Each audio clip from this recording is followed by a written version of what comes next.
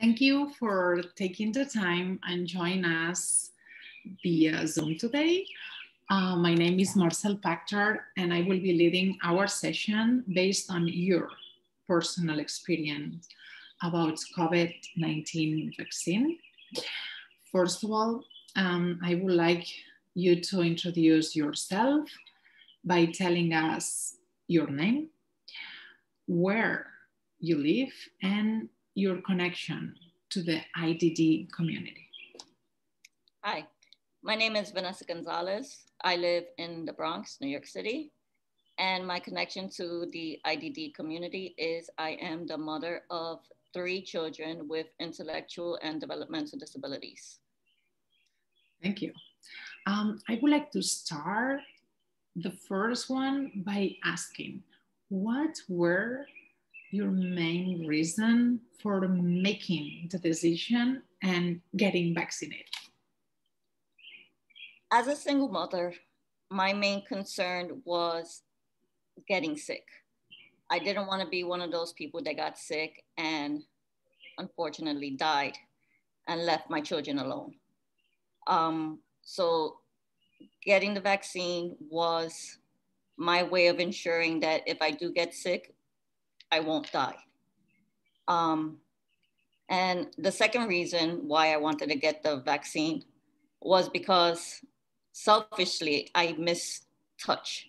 I miss being touched. I miss touching people. I miss holding someone's hand, giving someone a hug. I wanted to have that again. And this past year, it's it's been hard not being able to to touch the ones you love, scared, to go near them. With the vaccine, I felt that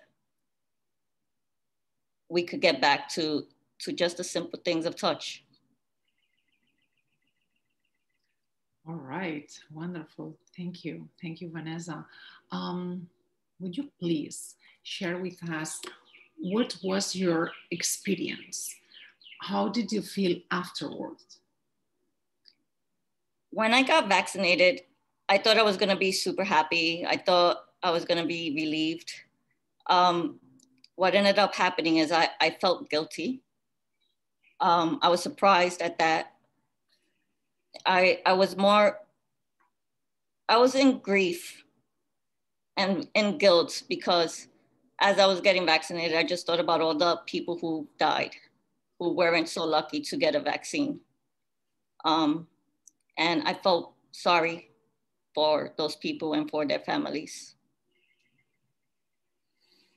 Thank you. Thank you, Vanessa. Um, I would like to ask you as a last question, what, what would you say to other, other people related to the IDD community who are not determined about getting the vaccine?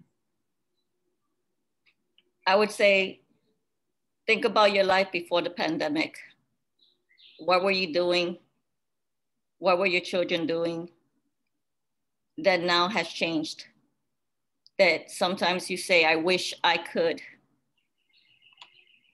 If you get the vaccine, all of those wishes that you wish you could will come back. Life will be back to normal again. Fantastic. Um, Thank you again for your participation, Vanessa, and have a good one. Thank you.